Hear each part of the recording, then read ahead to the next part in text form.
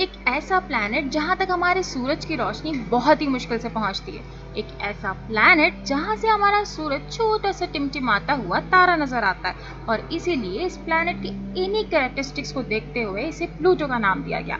Size में हमारे चाँद से भी छोटे प्लूटो को सोलर सिस्टम की एच का इनसिग्निफिकेंट प्लैनेट माना जाता था। लेकिन फिर ऐसा क्या हुआ कि ये सब कुछ बदल गया? जुलाई 2015 मई में जब साइंटिस्ट ने न्यू हॉरिजन से मिलने प्लूटो के इमेजेस को पहली बार देखा तो दंग रह गए। कि कैसे सूरज से इतना दूर अंधेरे में छुपा एक ठंडा सा डॉट प्लैनेट का सरफेस इतना हमारे अर्थ से मिलता जुलता है और उस पर हमारे ही अर्थ जैसे पहाड़ और समंदर भी हैं। लेकिन जब साइंटिस्ट ने इस बारे में और भी ज़्यादा रिसर्च तेज कर दी, तब उनको ये समझ में आया कि ऐसा तो होना ही था। लेकिन कैसे?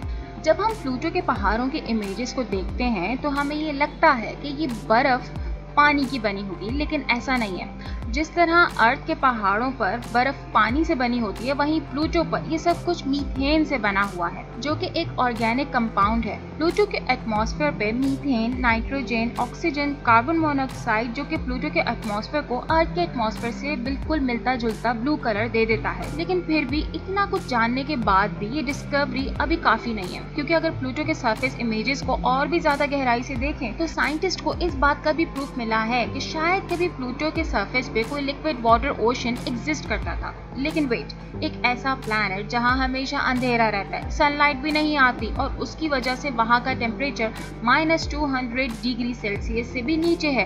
वहाँ पर हमें एक लिक्विड ओशन आखिर कैसे मिल सकता है? और उसका जवाब है उसके सरफेस पे ये रेड कलर का रीजन अब प्लूटो के फ़र्स्ट इमेजेस रिलीज़ होने के बाद उसके ऊपर ये हार्ट शेप प्लूटो का फ़ेमस और डिफाइनिंग फीचर बन गया। लेकिन ये फ्रोजन नाइट्रोजन से भरा हुआ ये हार्ड इमेज के जस्ट साइड पर ही अगर हम देखें तो एक उससे भी ज़्यादा इंटरेस्टिंग और मिस्टीरियस रीजन मिलेगा, जो कि प्लूटो के ऑर्बिट से वेल की तरह दिखाई देता है। इसीलिए साइंटिस्ट ने इसका नाम रेड वेल रखा। अब अगर हम इस मिस्टीरियस रीजन की तरफ़ देखें तो काफ़ी सारी थ्योरीज हैं। जिसमें से एक थ्योरी के हिसाब से सोलर सिस्टम के फॉर्मेशन के वक्त ये रीजन शायद प्लूटो के किसी मैसिव ऑब्जेक्ट के इम्पैक्ट की वजह से फॉर्म हुआ होगा।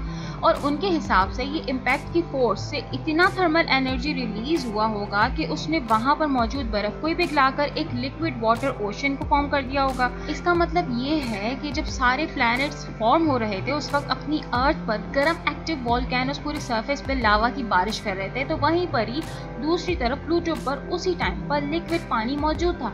लेकिन अब सवाल ये आता है कि आज की तारीख में अर्थ के ओशंस लाल तो है नहीं तो फिर प्लूटो के पानी में ऐसा क्या था जो प्लूटो के सरफेस को ये लाल रंग दे दिया है? अब साइंटिस्ट कम्युनिटी में ये काफ़ी ज़्यादा डिबेट तो हो रही है। अगर हम वाकई में ये चाहते हैं कि डिबेट एक स्पीड पकड़ ले तो इसके लिए हमें चाहिए होंगी काफ़ी सारी पिक्चर्स काफ़ी सारी इमेजेस लेकिन दूसरी तरफ़ अब इन सब चीज़ों का साइंटिस्ट को काफ़ी हद तक जवाब मिल चुका है, जब उन्होंने ऑर्गेनिक मॉलिक्यूल्स पर कई महीनों तक हीटिंग एक्सपेरिमेंट्स किए। और देखा जाए तो उसके पीछे का रीजन यही था कि प्लूटो के ओशन जब फॉर्म हुए होंगे, तब भी वहाँ के सरफेस के इम्पैक्ट की वजह से काफ़ी गर्म रहा होगा।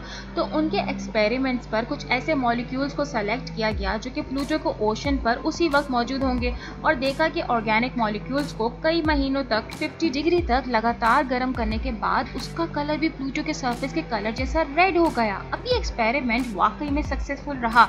कलर वाकई में रेड हो गया। तो इसका मतलब तो बिल्कुल साफ़ था कि प्लूटो के सरफेस पर ऑर्गेनिक मॉलिक्यूल्स प्रेजेंट हो सकते हैं। और जैसे कि हम सब जानते हैं कि ऑर्गेनिक मॉलिक्यूल्स का मतलब है ज़मीन जैसी लाइफ तो क्या ऐसा हो सकता है कि सोलर सिस्टम के स्टार्टिंग डेज़ में प्लूटो के ओशंस पर लिविंग ऑर्गेनिजम्स हो या फिर लाइफ के मटेरियल हुआ करते थे? अब यहाँ पर देखा जाए तो ऑर्गेनिक मटेरियल भी अवेलेबल है, पानी भी अवेलेबल है। तो प्लूटो पर लाइव होने के चांसेस पर साइंस कम्युनिटी ऑलरेडी बहुत ज़्यादा डिबेट रिसर्च कर रही है, लेकिन आप लोग ये जानते हैं कि जिस इम्पैक्ट पर प्लूटो के ओशन को फॉर्म किया, उसी इम्पैक्ट ने प्लूटो को मून भी फॉर्म करके दिया। और सबसे इंटरेस्टिंग बात, एक मून नहीं, दो मून नहीं, पाँच पाँच मून्स दिए, क्योंकि छोटे प्लैनेट्स के यूजुअली इतने सारे मून्स नहीं होते हैं।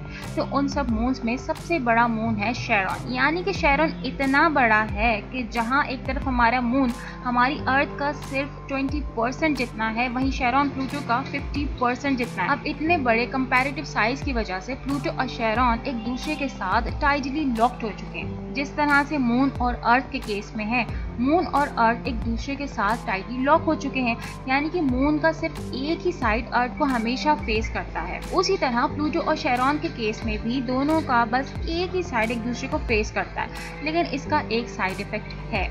मून जो कि अर्थ के अराउंड रिवॉल्व करता है, लेकिन शेरॉन और प्लूटो को एक सेंटर ऑफ़ मास रिवॉल्व करते हैं। और इसी वजह से प्लूटो को डबल प्लैनेट सिस्टम कंसीडर किया जाता है। लेकिन क्या हो, अगर अब हमें ये पता चले कि प्लूटो की शुरुआत एक प्लैनेट की तरह हुई ही नहीं थी, दरअसल साइंटिस्ट ये मानते हैं कि सोलर सिस्टम के प्लैनेट जब फॉर्म हो रहे थे, तभी प्लूटो तो नेपच्यून का एक सैटेलाइट यानी कि मून हुआ करता था और नेपच्यून के अराउंड रिवॉल्व किया करता था। तो फिर ऐसा क्या हुआ कि प्लूटो एक अलग प्लैनेट ही बन गया? कहा यह जाता है कि सोलर सिस्टम के वक्त नेपच्यून के बहुत ही करीब से एक दूसरा मैसिव प्लैनेट की ग्रेविटेशनल फोर्स ने प्लूटो को नेपच्यून से उड़ा के दूर फेंक दिया था, जिसकी वजह से उसने सन के अराउंड अपने अलग ही ऑर्बिट में भेज दिया। अब ये थ्योरी कितनी सही है और कितनी गलत, इस पे प्रूफ अभी तक जमा किए ही जा रहे हैं। लेकिन सोचने वाली बात यह है कि क्या अब हम मार्स और यूरोपा के साथ साथ प्लूटो पर भी अपनी लाइफ बना सकते हैं? वेल ऐसा हो सकता है, लेकिन उससे पहले हमें कुछ प्रॉब्लम्स को सॉल्व करना पड़ेगा, जिसमें से सबसे बड़ी प्रॉब्लम है सन से इतना दूर होने की वजह से आखिर हम पावर किस तरह जनरेट करेंगे? और दूसरी प्रॉब्लम है वहाँ का टेम्परेचर लेकिन आपने ये तो सुना ही होगा ना कि सबर का फल मीठा होता है तो अगर हम थोड़ा सा दिमाग लगाएँ थोड़ा सा पेशेंस रखें तो शायद हमें टेम्परेचर की ज़्यादा फ़िक्र करने की ज़रूरत नहीं है। क्योंकि कुछ पाँच बिलियन साल के बाद हमारा सन आहिस्ता आहिस्ता एक्सपेंड होने लगेगा और अर्थ और मार्स के ऑर्बिट तक फैल कर दोनों को अपने अंदर ही ले लेगा और वहाँ का टेम्परेचर भी बढ़ने लगेगा। तो उस टाइम पर अगर देखा जाए तो प्लूटो के सर्फेस का टेम्परेचर हो जाएगा कोई 25 सेल्सियस जो कि इंसानों के रहने के लिए तो परफेक्ट है ना, और सूरज को देखा जाए तो वो उस स्टेज में एटलीस्ट वन मिलियन साल तक रहेगा। मतलब इतना टाइम तक तो हम प्लूटो पर आराम से रह सकते हैं। यानी कि मार्स और यूरोप के बाद प्लूटो ही हम ह्यूमन सिविलाइजेशन का नया ठिकाना बनेगा।